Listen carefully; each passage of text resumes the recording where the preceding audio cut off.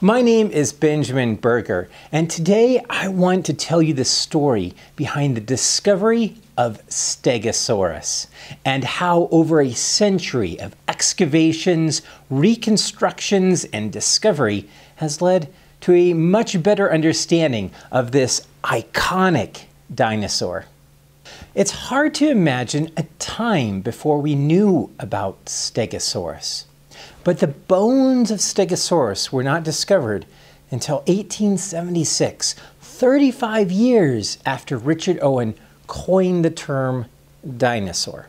And the first reconstructions of the iconic dinosaur were not known until 50 years after the first discovery. Surprisingly, when Stegosaurus was first found, it was not initially considered a dinosaur by O.C. Marsh, the, the man behind the name Stegosaurus. Today, I want to explore how the idea of Stegosaurus evolved and how our perception of this classic dinosaur has changed over time with new specimens and new discoveries. The initial discovery of Stegosaurus is largely due to the diligence of Arthur Lakes, a paleontologist and geologist not as well known as he should be. Arthur grew up in England and was educated at the Queen's College in Oxford, and traveled first to Canada, then on to the United States, where he found a job teaching in the Colorado Territory during the waning days of the gold rush. Arthur was a passionate rock collector and traded and collected mineral specimens that were discovered in many of the mines that were scattered across the Rocky Mountains. He was a passionate geologist, later writing and, and publishing textbooks, particularly about uh, coal and ore deposits in the American West.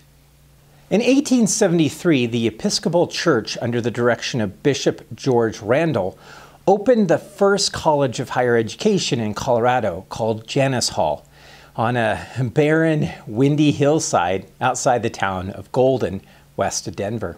Shortly after the school opened, it became a secularized public institution, and today it is the campus of the Colorado School of Mines.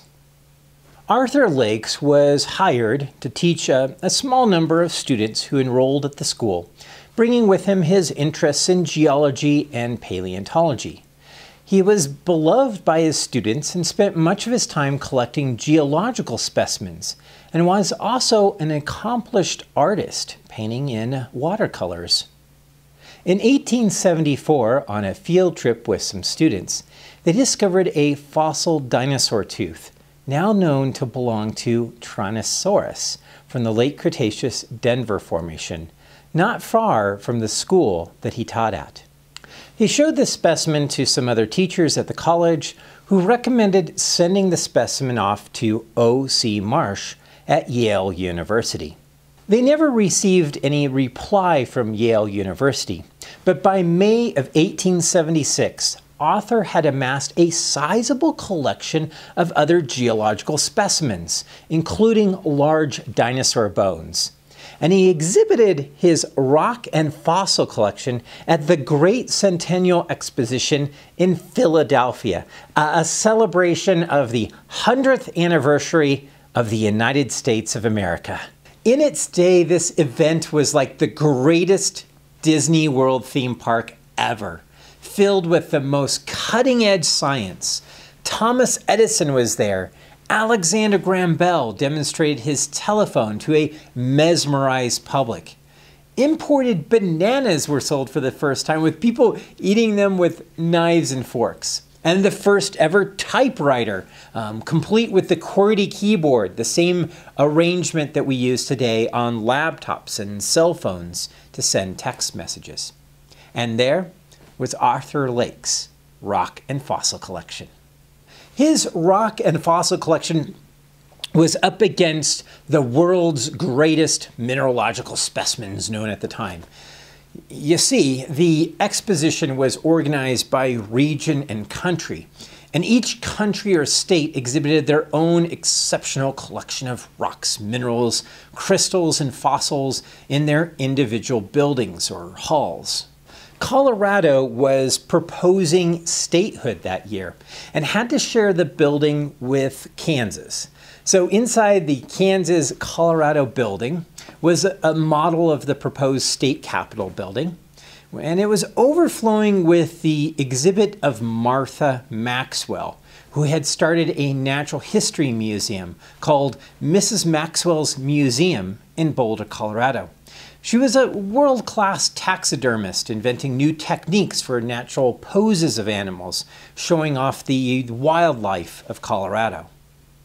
Based on photographs, in front of Mrs. Maxwell's exhibit were some large dinosaur bones Arthur Lake had found along the Front Range, and included a few display cases of rocks and minerals of Colorado. The large fossil dinosaur bones on display attracted the interests of Edward Drinker Cope and O.C. Marsh, the two world famous paleontologists from the East Coast who saw the fossils of dinosaurs on display and became intrigued. Both Cope and Marsh offered to purchase the fossil dinosaur bones from Arthur Lakes. But as a man of science, Arthur Lakes was more interested in their scientific description and eventual display in a public museum. O.C. Marsh proposed funding Arthur Lake's continued collection of dinosaur bones in Colorado, rather than purchasing the fossils. The less financially well off Edward Cope had proposed just buying the fossils from him. Arthur was more inclined to work with Marsh since he was a professor at Yale University and director of the Peabody Museum, whereas Cope was not affiliated with a university and worked privately, although he did have an agreement with the National Academy of Sciences in Philadelphia. One particular specimen on display intrigued both paleontologists a small, fragmentary skull that preserved long, narrow teeth. And Arthur Lakes told the two paleontologists that more of the skeleton was likely still buried in the ground. O.C. Marsh convinced Arthur Lakes to send him the skull for a preliminary study and to return to the field for the rest of the skeleton. So by early June of 1876, Arthur was back in Colorado digging in a quarry and finding additional dinosaur bones for O.C. Marsh. The quarry was 20 feet across and 10 to 15 feet deep. Um, into the dipping beds of the late Jurassic Morrison Formation north of the town of Morrison, Colorado. Uh, working with a retired engineer with the Navy, Captain H.C. Beckworth, Arthur and Beckworth dug, revealing what he kind of described as several very large vertebrae, um, two nearly perfect long thigh bones, and some vertebrae that were attached to a flipper of an animal of the plesiosaurian kind. So this jumble of bones was then shipped to O.C. Marsh, still embedded in the hard matrix of sandstone.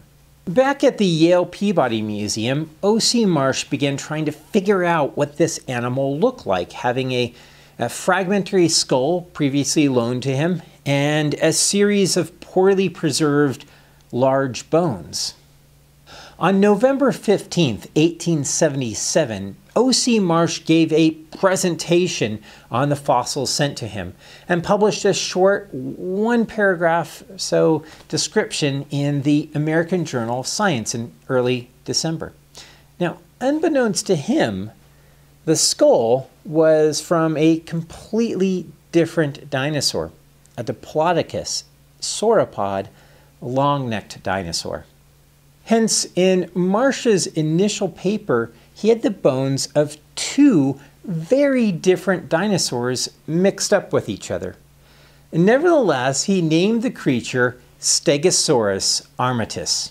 The flipper bone that Arthur Lakes had uh, mentioned to him, extending from the vertebrae, well, Marsh recognized that bone as some type of osteoderm or portion of a hard shell uh, comparing the fossil to an ancient fossil sea turtle called Protostega. Marsh also alluded to an affinity to Plesiosaurus, the Loch Ness monster like creature, and viewed the animal as a marine or aquatic swimming reptile rather than a dinosaur. While working on this short description of the fossil, Arthur Lakes and H.C. Beckworth were conducting a more ambitious collection of dinosaurs in 1877, and from April to June had collected additional fossil bones, sending them to O.C. Marsh to describe. Among this collection of dinosaur bones were giant dinosaurs, which uh, O.C. Marsh named Titanosaurus. He then had to re rename it Atlantosaurus since it was a preoccupied name by a dinosaur named Titanosaurus from, that was named by Richard Lydekker from India a few months earlier. And he also named Apatosaurus and Allosaurus in October of 1877. The newspapers reported on the discovery of these dinosaurs in Colorado and they neglected to mention either Arthur Lakes or H.C. Beckworth by name, which caused them some alarm at not receiving credit for all their hard work digging up these monstrously large bones, which required dynamite, chisels, and hammers. Hence, Marsh was kind of careful to mention their names at the conclusion of his short description of Stegosaurus on November 15, 1877. Edward Cope, Marsh's rival, would soon acquire a similar collection of dinosaurs from the Jurassic Morrison Formation as well, from the southern part of Colorado near the town of Canyon City in 1877, and was to find the next Stegosaurus specimen. Dinosaur bones have been discovered near the town as early as 1869, but news of these discoveries was not published in the newspapers until January of 1877 when a local newspaper ran a story about dinosaurs being discovered by Henry Felch north of town. The news drew the curiosity of Ormel Lucas, a school teacher and superintendent of the public school system there. Now, Ormel was taking classes through a correspondence with Oberlin College in Ohio and wrote to one of his professors about finding some dinosaur bones near town. His professor suggested he contact Marsh or Cope and see if they would be interested in them and working with him to excavate more. In the early spring of 1877, Ormel Lucas wrote to both Marsh and Cope, and it was this time that Cope actually responded quickly, hiring Ormel and his brother Ira to start excavations that summer. The Lucas brothers began working the quarry that became known as Cope's Nipple, with excavations starting in 1877 and worked on until 1883. Although the area still produces dinosaur fossils, including three important Stegosaurus specimens we'll talk about later. It was in this quarry, which was a softer mudstone, that the Lucas brothers found a second specimen of a stegosaurus-like creature, animal, that was named Hypsirhophus discurus by Cope in 1878. Now, there's some debate whether Hypsirhophus discurus is valid, but the most recent paper in 2015 has argued that it's just a synonym of Stegosaurus, and I think most people agree. Like Marsh's specimen, uh, Cope's Stegosaurus was not very complete. The specimen included only a partial dorsal vertebrae, a rib fragment, some caudal neural arches and centrum, and like Marsh's specimen, bones of another dinosaur were mixed in with it, a, a theropod femur. However, in describing the specimen, Cope recognized the fossils as belonging to a dinosaur. So, despite two species named, paleontologists really had no clue what Stegosaurus looked like. And there was no illustrations yet of the dinosaur published or, or even attempted. That was about to change, but the discovery would come in a mysterious letter sent to O.C. Marsh by the notorious Harlow and Edwards. We'll soon find out who Harlow and Edwards were, but let me first read you uh, their letter that they sent. It reads a bit like a ransom note. Union Pacific Railroad Company, Agent's Office, Laramie Station, Wyoming, July 19, 1877. Uh, dear sir, I write to announce to you the discovery, not far from this place, of a large number of fossils, supposed to be those of Megatherium. Although there is no one here sufficient of a geologist to state for certainty. We've excavated one partly and know where there are several others that we have not as yet done any work upon. The formation in which they are found is that of the tertiary period, and we are desirous of disposing of what fossils we have and also the secret of the others. We are working men, and we are not able to present them as a gift, and if we can sell the secret of the fossil bed and procure work in excavating others, we would like to do so. We have said nothing to anyone else. We measure one shoulder blade and found it to measure 4 feet 8 inches in length one joint of the vertebrae measures two and a half feet in circumference and 10 inches in length. As proof of our sincerity and truth, we will send you a few fossils at what they cost us in time and money in unearthing.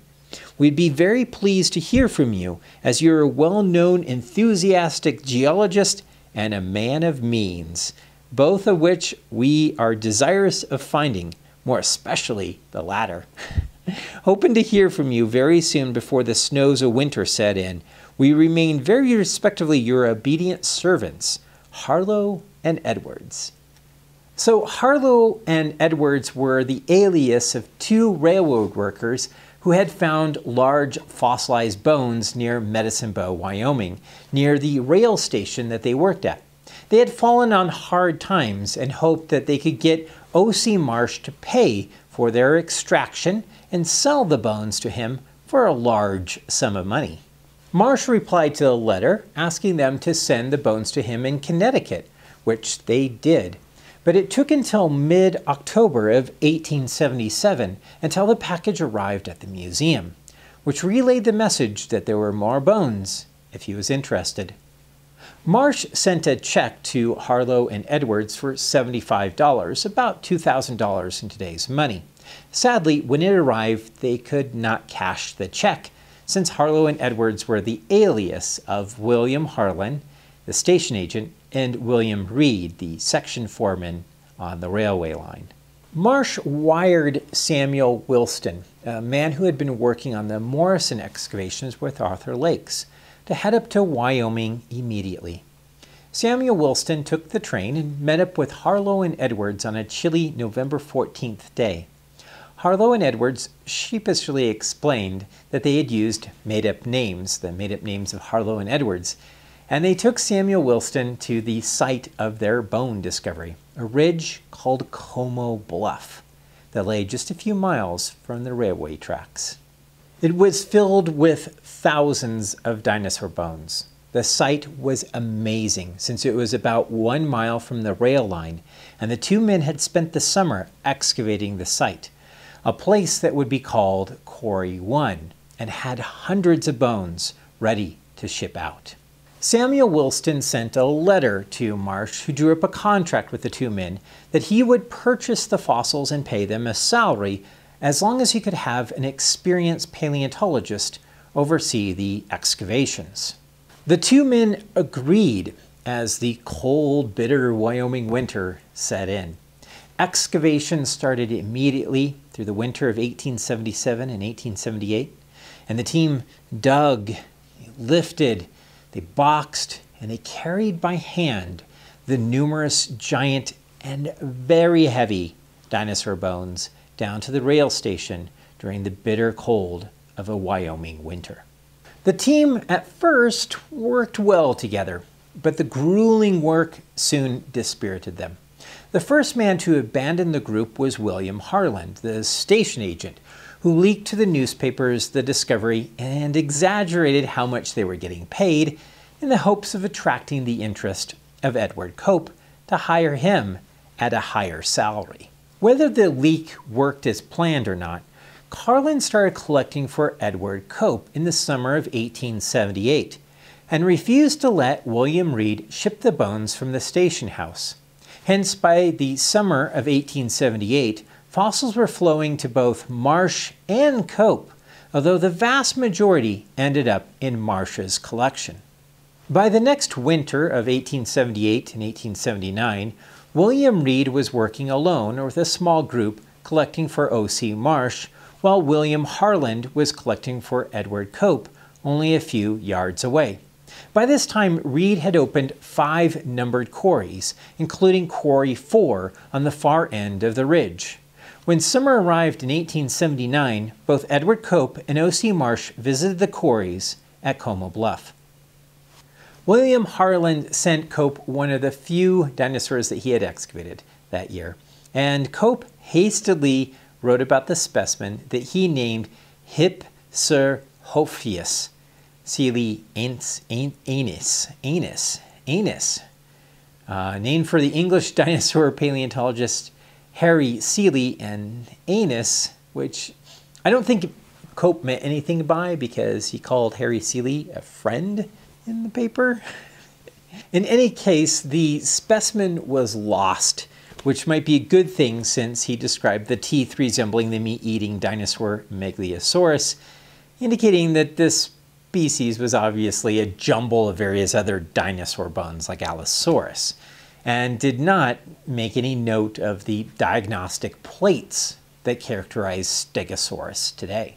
In the summer of 1879, O.C. Marsh himself and Arthur Lakes visited the ridge, with O.C. Marsh discovering Quarry 7 and later Arthur Lakes finding the first mammal jaw from Quarry 9. A few of these bone quarries produced a few Stegosaurus bones, such as Quarry 4, but none was as rich in Stegosaurus bones as Quarry 11, Quarry 12, and Quarry 13, discovered during the summer and late fall of 1879. These bones included most of the skeleton of Stegosaurus, but from seven different individuals scattered across three widely spaced quarries. The bones were all disarticulated and they were boxed up for preparation back at the Yale Peabody Museum in New Haven, Connecticut, where O.C. Marsh and his team were tasked at reconstructing these bones into the creature we know today as Stegosaurus. From 1879 until 1896, O.C. Marsh was tasked with reconstructing the anatomy of Stegosaurus from these seven jumbled collections of bones. O.C. Marsh published seven papers on Stegosaurus up to his death in 1899. In December of 1879, O.C. Marsh published his first paper on Stegosaurus from Como Bluff, Wyoming, where he named the species Stegosaurus ungulatus and described the huge plates that protected the animal, but featured no illustrations of the bones. In March of 1880, Marsh published the first ever illustrations of the fossil plates and tail spikes of Stegosaurus, but was still very much confused about the skull, which you remember the initial specimen he named Stegosaurus included the skull of Diplodocus, a very different type of animal a long-necked sauropod. Hence, his description includes that of a skull of Diplodocus with its pencil-like teeth and small brain that was collected from Quarry 8 and completely misidentified as belonging to Stegosaurus. In February of 1881, Marsh published an infamously incorrect description of Stegosaurus in describing the spinal cord. Now remember that he had the skull of Diplodocus, but matched it with the sacrum of Stegosaurus, and was amazed to see there was this large cavity in the opening for the spinal cord within the sacrum. It was much larger than the brain cavity seen in the misidentified skull.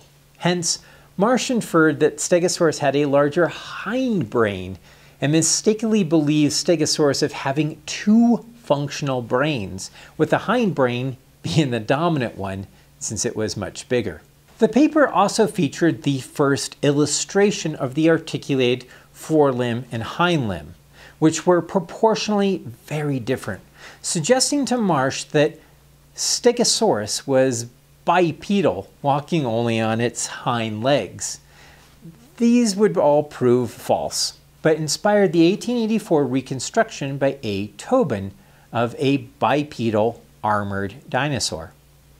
In 1883, Cope was running low on funds, while O.C. Marsh began to get government contract work with the United States Geological Survey to fund his research on dinosaurs.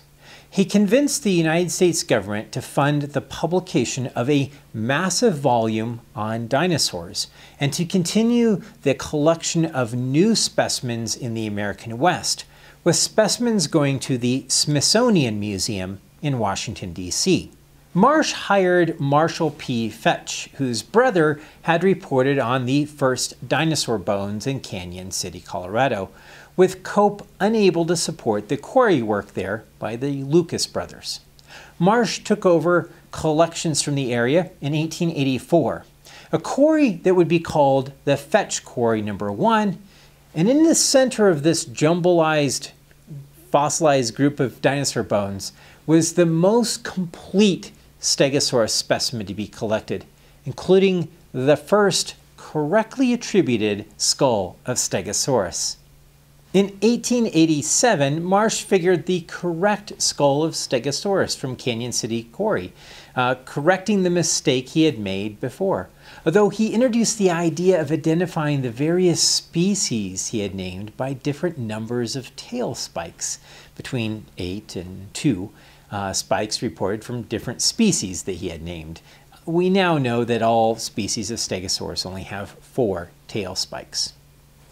For the next 10 years, Marsh worked on a detailed illustration of all the dinosaur bones that he had acquired for the Peabody Museum, and using government funds to publish a beautiful, lavishly illustrated uh, drawings of the dinosaur bones in his collection. In 1897, just two years before his death, the giant, huge volume was published as a USGS monograph to the United States Congress. In plate 52, in this great monographic volume on dinosaurs, was the first reconstruction of Stegosaurus, with the plates along the back in a single row, and eight rather than four tail spikes. This reconstruction would be instrumental in shaping our understanding of Stegosaurus and dinosaurs for the coming century. The illustrator Charles Knight used Marsh's 1897 reconstruction for his early life reconstruction of Stegosaurus, the first ever painting of Stegosaurus complete with eight spikes on the tail, and interestingly enough, paired plates. This illustration was used to create a life reconstruction for the Smithsonian Museum. The task of mounting a skeleton of Stegosaurus fell to Richard Lull, the paleontologist hired after the death of O.C. Marsh by Yale University, and a controversial scientist for his uh, unorthodox views of evolution. O.C. Marsh had left the blueprint for how the bones went together with his illustrations, and Richard Lull headed up the team to put the bones together for display at the museum, a task that took them 12 years. Richard Lull described Stegosaurus as the most grotesque reptile the world ever saw, and in 1910 published a paper describing the plates as paired along the back of Stegosaurus rather than a single file of plates, similar to the idea Charles Knight had in his painting. Two preparators at the Peabody Museum, Hugh Gibb and W.S. Benton, mounted the heavy fossilized bone using the various partial sets of bones from Como Bluff, Wyoming, since the more complete Stegosaurus specimen from Colorado went to the Smithsonian. Having acquired the more complete Stegosaurus specimen from Colorado, the Smithsonian mounted its own skeleton, noting that Stegosaurus had only four tail spikes and that the plates alternated in a paired fashion along the back. In 1914, this version of Stegosaurus, with its lifelike reconstruction, went on display and still remains, 100 years later, one of the most accurate depictions of Stegosaurus. The Yale Peabody Stegosaurus underwent revision in 1924 and again in 2010 when the Paleontology Hall was refurbished. Additional fossils of Stegosaurus would be found with two additional very complete skeletons from Canyon City, discovered by a high school teacher named Frederick Kessler in 1937 and excavated by local high school students, and a remarkable specimen discovered by Brian Small for the Denver Museum in 1992. Many additional specimens were found in Dinosaur National Monument in Utah, leading to the knowledge that Stegosaurus was a widespread genus in the late Jurassic of the western part of North America. Today, hundreds of specimens are known of Stegosaurus, including juvenile specimens. And while there's still some debate as to the pose and function of the plates along the back and in differences between the various skeletons, the early pose of the 1914 mount of Stegosaurus still remains the standard view of Stegosaurus today. I want to thank Brian Clever, Pablo Lozato Figuez, Arcodis 1811, Justin Bovey, Emmett Larson, and Marlo Andrecchio, and Fred Olney. Um, thank you, everyone, for your support on Patreon.